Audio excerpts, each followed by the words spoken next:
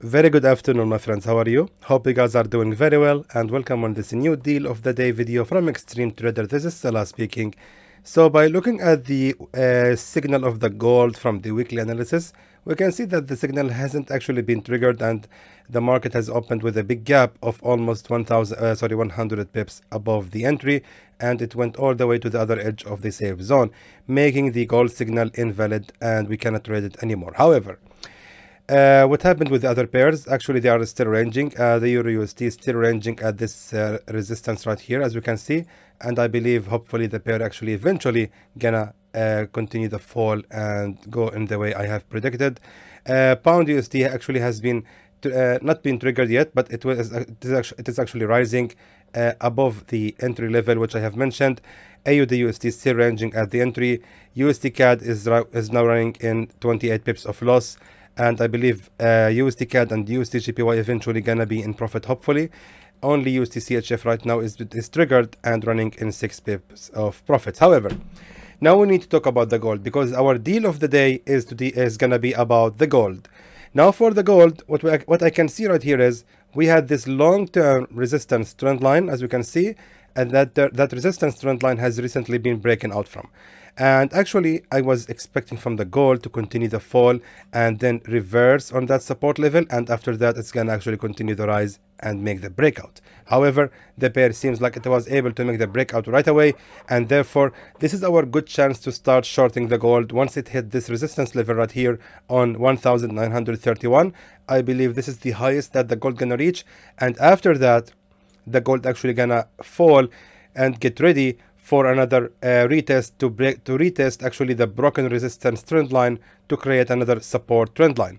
What we can expect actually from the gold on the next days uh, it's gonna actually continue falling like this. It's gonna reverse from that resistance level and after that it's gonna continue the fall uh, to hit that support level right here on 1880 and after that it's gonna continue the rise. And we are actually still gonna be depending on that support level right here. And to be honest um, our target is actually gonna be this previous res resistance right here where the pair actually gonna fall to retest the broken level.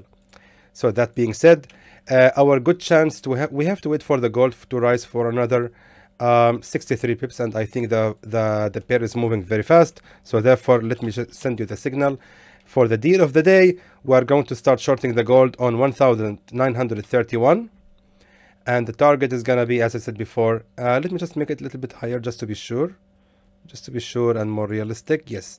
So we are aiming actually uh, 228 pips uh, profit from this deal. So the take profit level is gonna be 1907.40 now for the stop loss. The stop loss actually uh, we are going to set a stop loss just above that resistance level right here. So actually what I'm going to do this is going to be our stop loss just like that. Because uh, the stop loss is going to be about let me just be sure and realistic uh, like that. Perfect. So 123 pips. Hopefully this is one this won't happen and hopefully we'll make really good profits out of this deal uh, let me just explain to you. We are having right here a previous support level as well. Right here. So there is a chance also that the gold might rise a little bit more just to hit that previous resist uh, support level, retesting it, and then after that eventually it's gonna fall. All in all, from technical from technical view, this is how the gold should move in my opinion.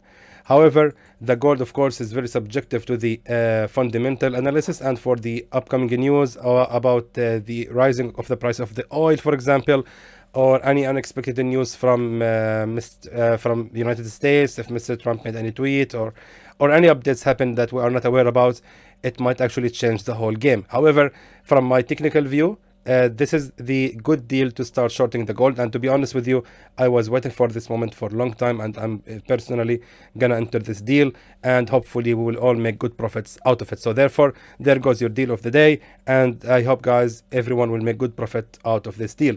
So i hope that was informative to you and i would like to thank you for watching